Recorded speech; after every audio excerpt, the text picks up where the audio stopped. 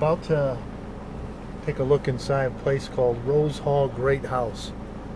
There's Where something a little kid- little unusual about this. They say it's haunted.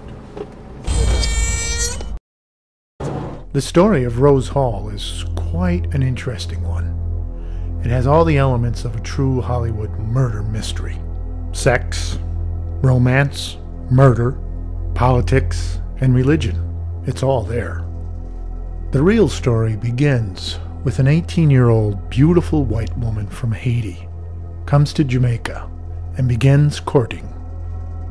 Born Annie Mary Patterson, is the child of an Irish merchant and an English mother. She grows up in the newly formed French colony of Haiti. Under strange circumstances, her parents are killed. She is raised as an orphan in Haiti. She falls under the influence of the dark arts of black magic and voodooism. The young beauty soon finds her way to Jamaica. She meets a man by the name of John Rose Palmer.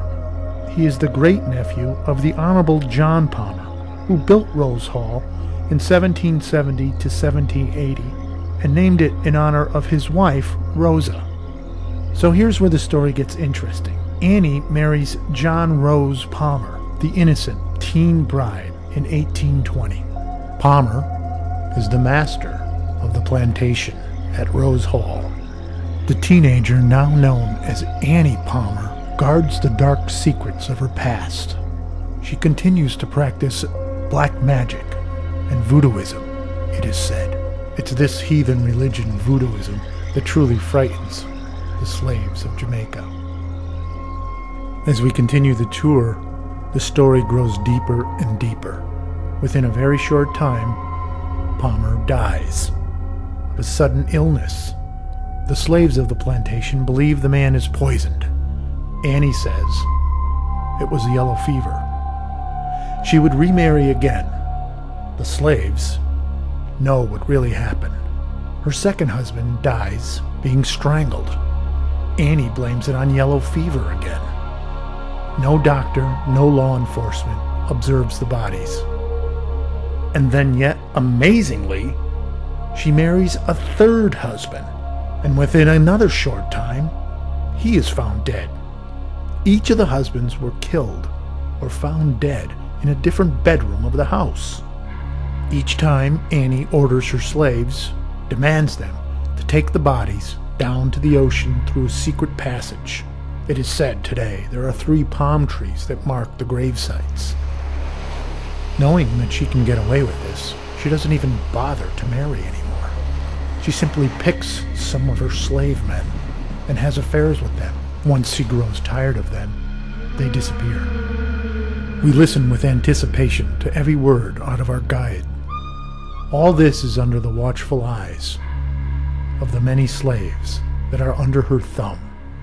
They fear her. They dread every day. On the top floor of the house, she has an observation deck that overlooks the plantation and the backyard.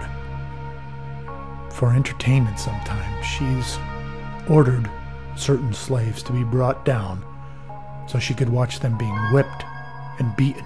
I can still hear the howling and screaming of the terrors that happened at this place.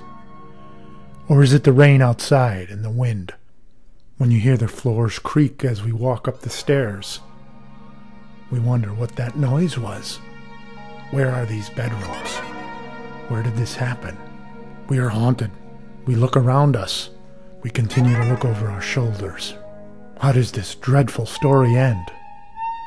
Well, the triumph of good and evil, evil loses out every time. Annie Palmer gets what's coming to her. One of her slave lovers, Deku, outsmarts her. He has seen too many of his brothers killed at her hand. He romances his way somehow to get close to her. And then, in mid December of 1831, Annie Palmer is found strangled to death in her bed. Not a tear is shed. But this is a turning point for Jamaica. The protest against The slave trade and the slave industry and the sugar plantations boils over. Led by the preacher Sam Shepard, protests erupt. Slaves do not show up for work. There are 700 plantation homes, great houses, on the island of Jamaica. All but 15 are burned and destroyed. Rose Hall survives because of the fear of the White Witch reaching out from her grave. The ghost of Annie Palmer.